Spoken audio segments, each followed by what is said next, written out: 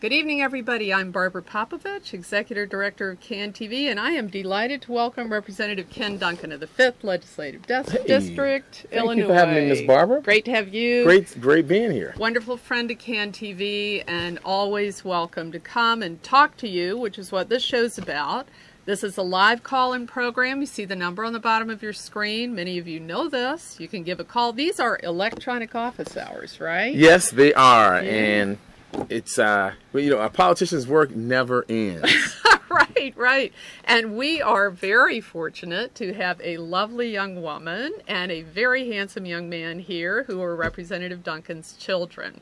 So, great audience sitting here watching us here today, and Sylvia on the telephone. So, we want you to give Sylvia a call, and she will put you through to Representative Dunkin so you can ask your questions. And let's have a really robust show here with what you want to know from Representative who's dozen years now in the legislature. wow, that is the case. Yep. And uh, very, very hon- honored and humble experience uh, to be a state representative uh, and to listen to constituents and to learn such a great deal of uh, issues and intelligence on how it is and what it is that we should be doing.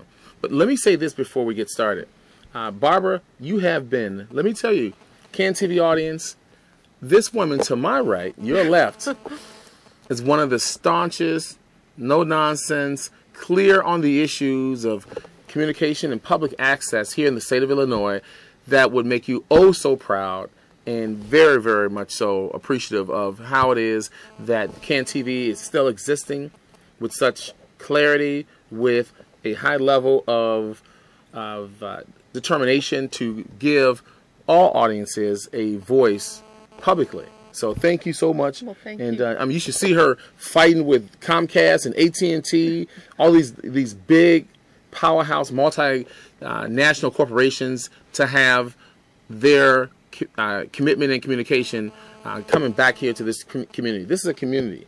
It's nowhere near a business, Right. and it's a valued community. So I want to thank you and your team. Well, thank you, and I we are the accumulation of so many voices out there, and I appreciate what you said. I'm a conduit, if anything, but you know we have a hot topic and a hot guest when we get calls in the first five minutes, and we have a caller. Caller, what is your question for Representative Dunkin? Oh yeah, I know there was just a debate between uh, Governor Quinn and Rauner about, but uh, uh, one of the biggest issues they talked about was who can best serve the African American community. And I know obviously you probably have what candidate you would support picked out, but I wonder what, when it comes to the African American community, kind of what are the top issues of concern that you think that they would have to address as governor? I think uh, yesterday's debate was a robust debate that uh, warranted a lot of responses and, well, needed responses, I would say.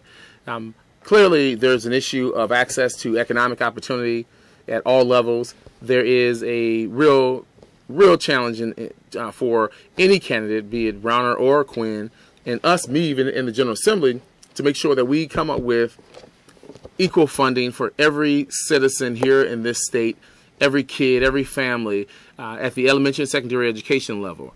And so yesterday that was talked about a bit, but now really the governor in his levels of uh, executive order uh, and or executive decision making really comes from whatever the House and Senate can put before him to sign, amend, or veto.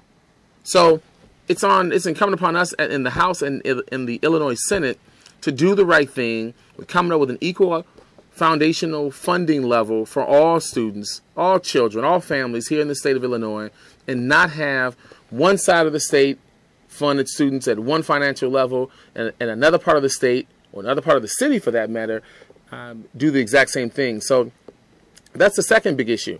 The other one is incentives being created to create and start new businesses in the black community. And if you look at some of our areas on the on the west side and some of our areas uh, that are historically black on the south side, the biggest chasm is that of academic, excuse me, economic access to banks loaning money for small and medium-sized businesses to, to get started, to come up with uh, innovative dollars to just give people a chance. I often tell folk or make mention that Donald Trump failed several times in his, uh, many times in his venture uh, capitalistic approaches, but he always had the benefit of the doubt with banks and investors putting money into some of his ideas. And they were, they were just that, mere ideas. What may work in New York or Florida may not necessarily work in California or Chicago, but they give him, they being the financial institutions, give them him that opportunity. And so that's, you know, the economics, the access to quality education and funding, and all of that would mitigate some of the crime issues that you've been hearing about in some of our isolated communities in our in this great city of ours. So I want to do a couple of things. First of all, thank you, caller, and remind everybody you've got a call-in number on your screen, 738-1060. You've got Rep, Rep Dunkin here for 20 more minutes, so call now. But before we go further, I want to show folks what a challenging district you have. In looking at this map, this purple long line here shows the city. So why don't you real quick explain both the demographics and what area this encompasses? Yes, thank you. Very good question. I'm in the obviously in the fifth district, and my district goes it starts really from Division and LaSalle Street. It goes up to Michigan Avenue. Here, here. Oh yes, so I have all those Rush Street bars. Up at the all, top? Yes, all that I have the here? go down Rush Street. Keep going. Now you you're down at Michigan Avenue and the South Loop. I have the Hyatt Hotel. Millennium Park. I have all of that. I have a portion of, then I have Bronzeville where I live, the Washington Park community. I have Grand, uh, Greater Grand Crossing as well as the South Shore. So I literally go from the Gold Coast to the Soul Coast of Chicago. Right. So so there's a lot going on, and I want to get back to the caller's question in some respect and how you responded to it because when you think about equity and you think about the importance of jobs, I know you've had a long-term commitment in your legislative life to capital projects that are job creators locally. So why don't you speak to that a little bit and tell us what you've been doing?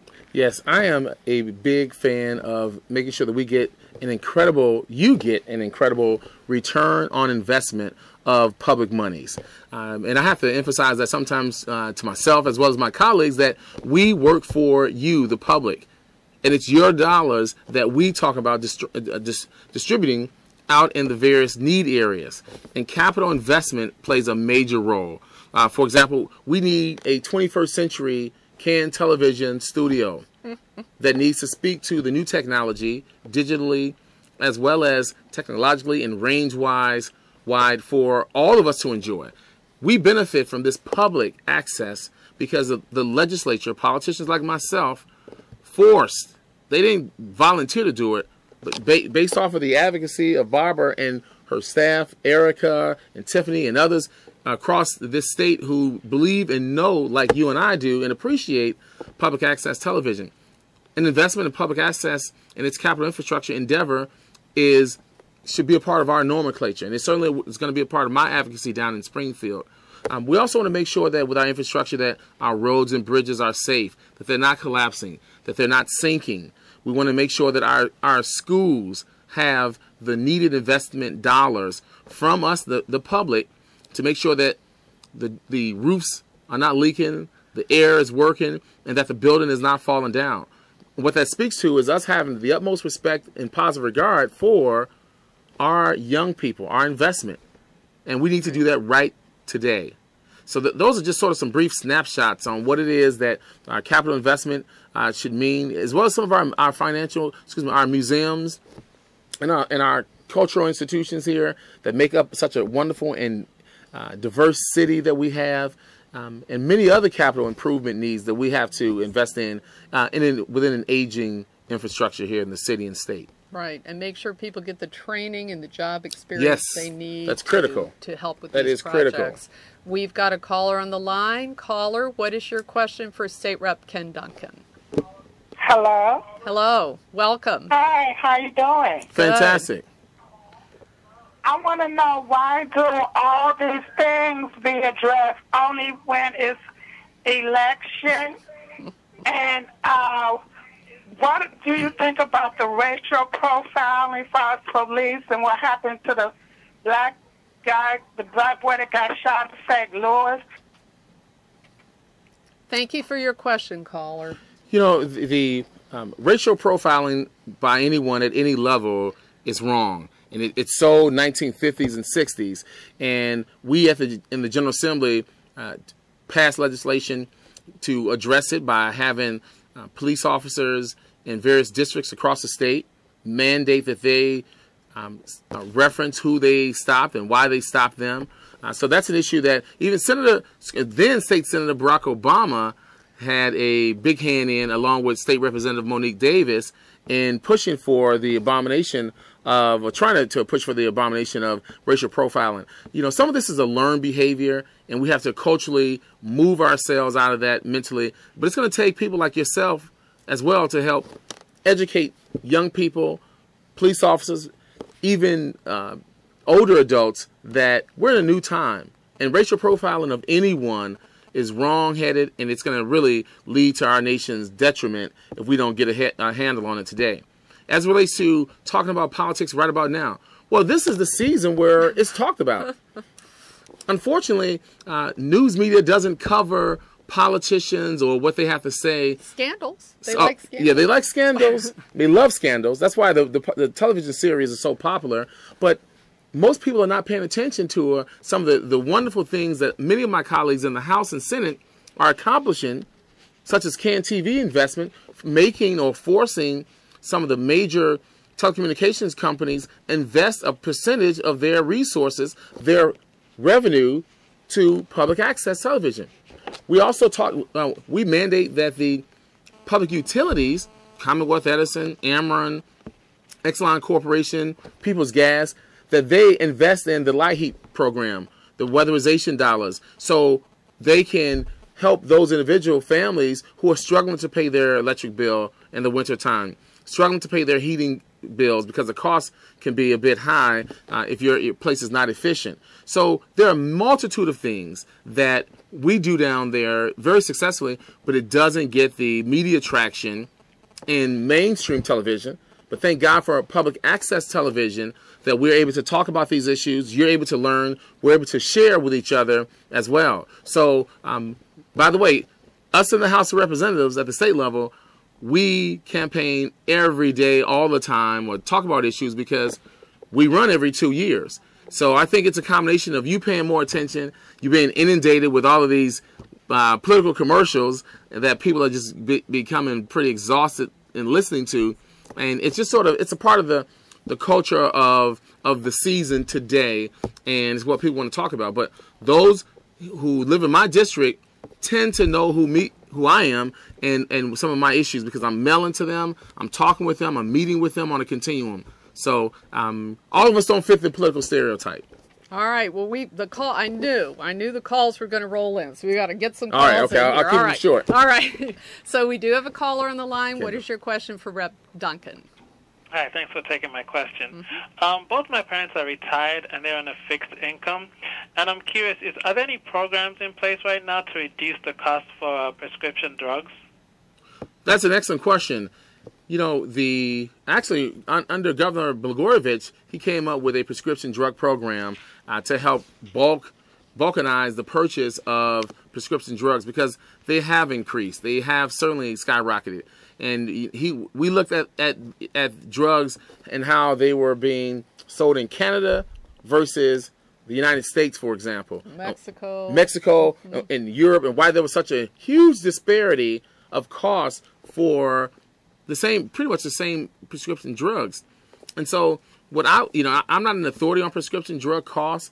That's why uh, it's important for people like yourself to have the 1 800 number, which I don't know now, but you can certainly reach out and uh, call my number uh, and talk with the Depart- Illinois Department on Aging. They are the authorities on that, as well as the Department of Family Health and Family Services. But I would start with the Illinois Department on Aging. You can always call my office. Yeah, I'm gonna I'm gonna get that number Oh, here. there you go. Phone 773-363-1411.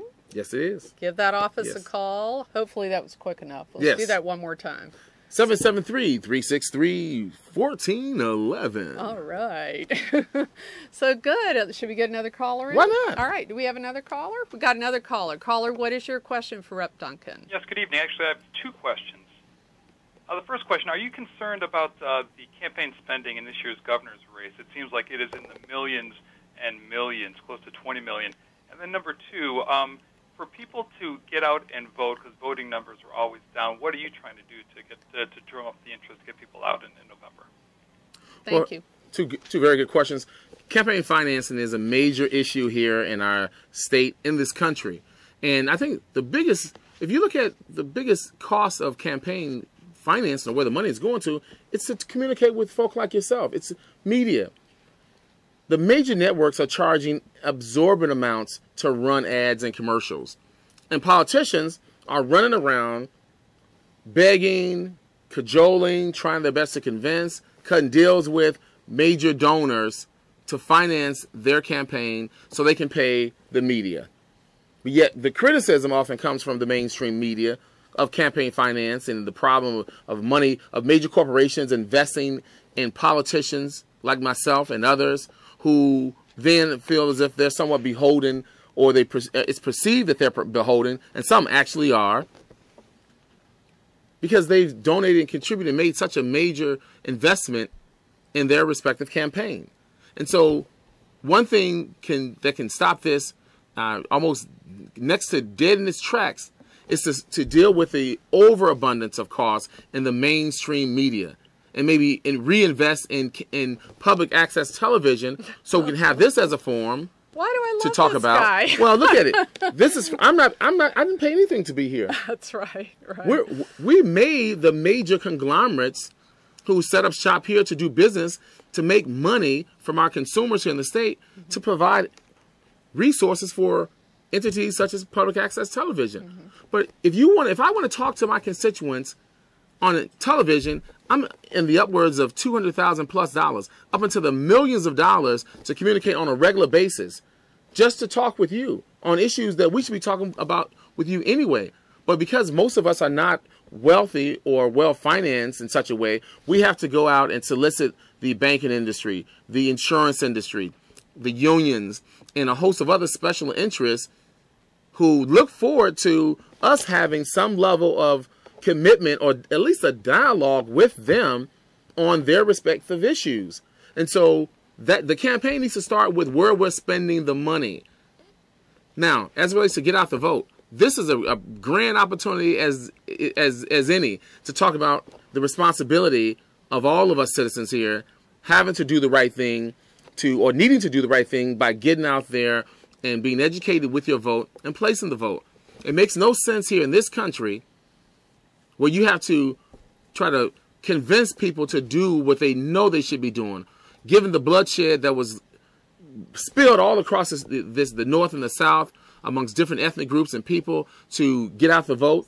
How people in other countries in the far east, in the far south and west, where they are prohibited or the voting methods there are inferior, very corrupt, and or are suppressed.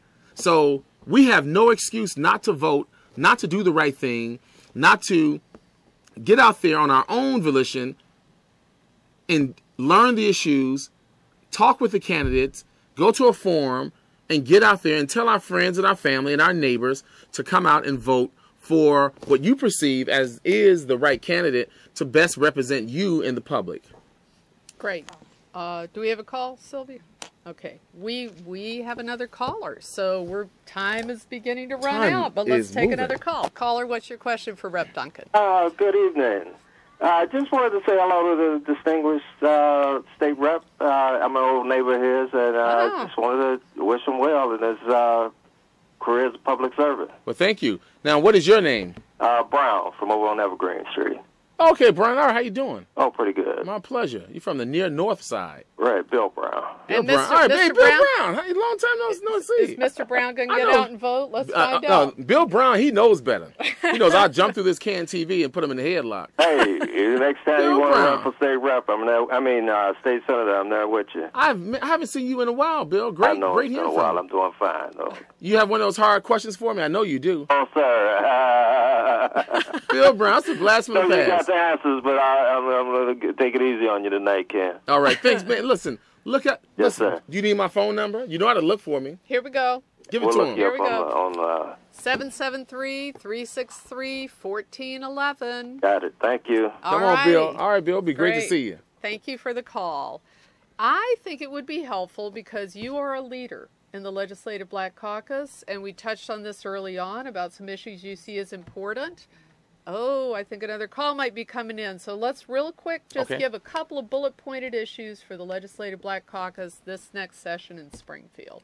Well, the Legislative Black Caucus is has really progressed into uh, being the the biggest voice for not just the Black Caucus, but for all citizens.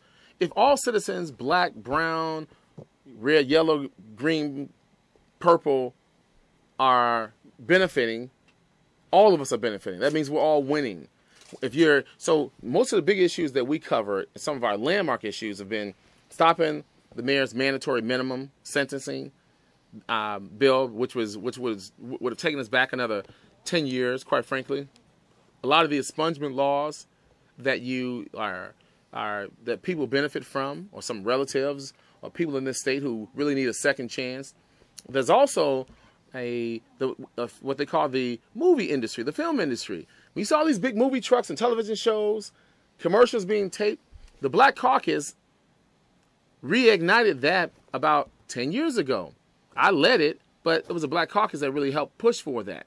Got some tax cuts. Oh, tax incentives for companies, major corporate, excuse me, major corporations by way of major motion pictures to come here and set up shop and do business. They don't get the tax credit or incentive unless they have minorities participating, women and and you know Hispanic and blacks, or if they're not spending money here in our great state. So they have to spend money, a great deal of money, and invest in our our labor infrastructure here and participate in the state of Illinois. And we consider giving them a tax incentive. So it's worked out very, very well for a lot of our citizens. Um, those are some of just, and we're also looking at the mass mass overhaul of how it is that we fund education. Those are big issues, and we played a huge role in making sure that the Affordable Care Act, or better known as the Obamacare, passed both chambers. So that's just a snapshot of, five or six items that the Black Caucus certainly has taken an active lead on. And guess what? We're not done. We want to make sure that all of our citizens here in the state of Illinois can uh, receive equal and public benefit from its government. So let Sylvie, how many calls we got waiting? Two? Okay, so let's take two calls real quick because we're going to run out of time. So, caller, what is your question for State Rep Ken Dunkin? Go ahead. Caller, Hello? go ahead. Hey, um, I'm Brianna. I'm actually a constituent of Ken Hey, Dunkin. Brianna. Hey, how's it going? Good. And I met with you a couple, like a month ago, um, asking you about your support for the raise incre- increase in minimum wage, and you stated that you did not think that that was the answer for a raise in minimum Mm. wage. I just want to know if you changed your stance on that. Since Okay, Okay. go ahead. And Brianna, Thank a- as I call. as I met with you in the group, um, certainly the minimum wage is one very small small piece of the overall transformation of putting people in a position to have a a respectful wage being earned here in this state and in this country. Quite fr- frankly, I think the legislation that we have in this state doesn't go far enough. It's a, it's a mere dollar and a half, maybe two dollars. It gets up to to ten ninety if I'm if I can recall. I think you you know the specific. But whereas the city is trying to go from up to fifteen dollars. I don't think it goes far enough, and I think it's sort of a, a real sort of uh, sort of a pacifist approach towards saying, hey, hey, look, you know, um, have-nots. Here are a couple of dollars. Shut up for the next five to seven years until you can talk about something else. I think what we need to be doing as politicians is looking for real economic solutions on how it is that we can raise people out of their poverty levels and that's on, a, on such a grand scale. And so I think that would really stop the debate on further investment of our human capital by way of job training and incentives to get people, really put people to work, and investment in some of these black and brown communities where, uh, where too many of us disproportionately are on uh, um, living on minimum wage. I don't see minimum wage as being the answer because I, I think it's a it's a have and have not scenario. Um, but I have not said I was not going to vote for it. I just don't think that is the panacea. I think it's sort of almost a trendy issue right now that we need to get past. All right, we are running out of time. So, uh, those of you that are still on the line, please call Rep Dunkin at his office, 773 363 363 1411. I am sorry we couldn't get to more of you. We needed an hour with him, it's evident. Want to really thank you for coming. Barbara, thank you so much for having me. Yeah, I loved our audience tonight. Two beautiful young people. And I want to thank Sylvia for taking the phone calls. Please tune in every Wednesday at 7 for Political Forum, which is your live opportunity to talk to our elected officials who work seven days a week, all hours, to try to address the concerns in this state and city. So thank you, and we will see you next week.